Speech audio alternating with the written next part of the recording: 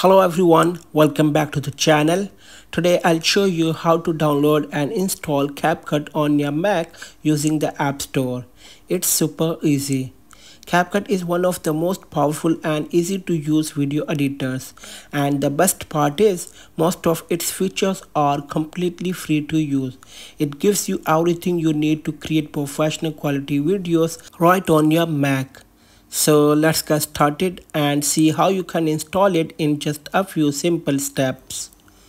First, open the App Store on your Mac. You can find it in the dock or just press Command plus space. Type App Store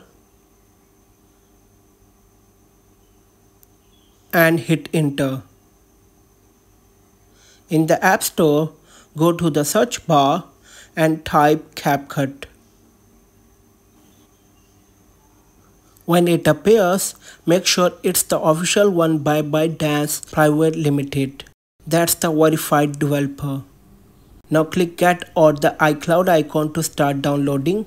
If asked, sign in with your Apple ID or use Touch ID to confirm. Once installed, click open or find it later in your application folder. And that's it, CapCut is ready to use on your Mac.